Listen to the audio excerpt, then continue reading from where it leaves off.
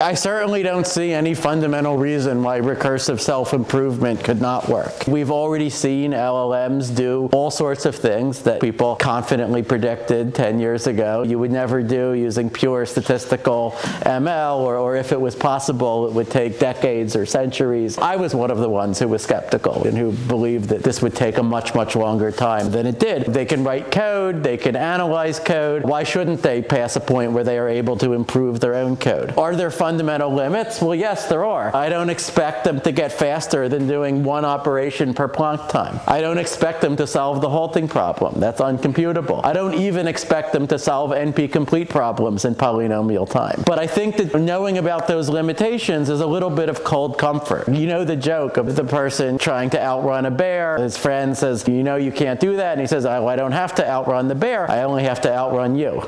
It's the same with AI. AI doesn't have to outrun the fundamental limits of computation in order to change the world. It only has to outrun us. We are very far from perfect, and I see no reason why you couldn't have recursive self-improvement, for better or for worse. I can't really offer you reassurance on this point.